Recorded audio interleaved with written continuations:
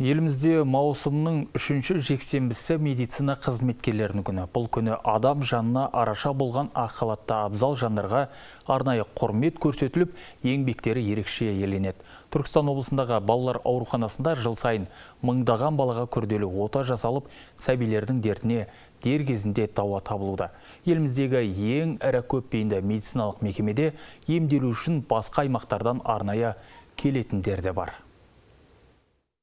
Елімізде шала туған шақалақтар арасында ретинопатия ауруы белең алып барады. Уақытылы ем-дом жасалмаса, сәби қос жанарынан айырылып қалуы мүмкін.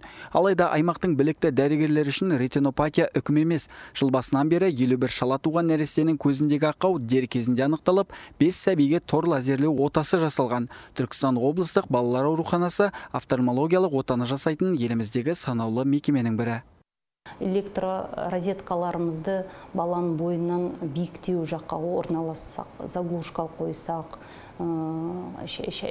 қайнататын шайнектеріңіз э, сәл шнурларын өзі тұрған жерін бала қол жетпейтін жаққа қойсақ осындай ожог ретінде күйіктер аздап болатын еді. Алдына операция үстелінде үш жасар баланың ішіне ота жасалып жатыр. Дәрігерлер сәбидің өмірімен бірнеше сағат бойы күреседі.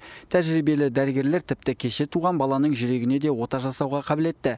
Қолы жеңіл хирургтар жыл басынан бері 60 баланың өмірін арашалап қалды. Облыстық балалар ауруханасында педиатрия және балалар хирургиясы бойынша 31 бағытта мамандандырылған медициналық қызметтер көрсетіледі.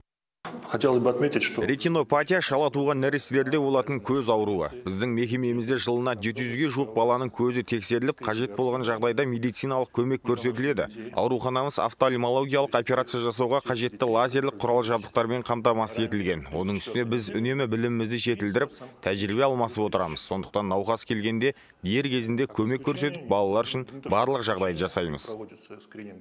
Облыстық балалар ауруханасы еліміздегі ең ірі көпбейінді медициналық мекемелердің бірі. Мұнда 895 мыңнан астам бала тіркелген. Жыл басынан бері санитарлық авиация арқылы 400-ге жуық науқасқа көмек көрсетіліп 36 балаға шақырылған жерде ота жасалған. Бұл да болса дәрігерлердің біліктілігі мен бала денсаулығына жасалған жағдайдың арқасында мүмкін болып отыр.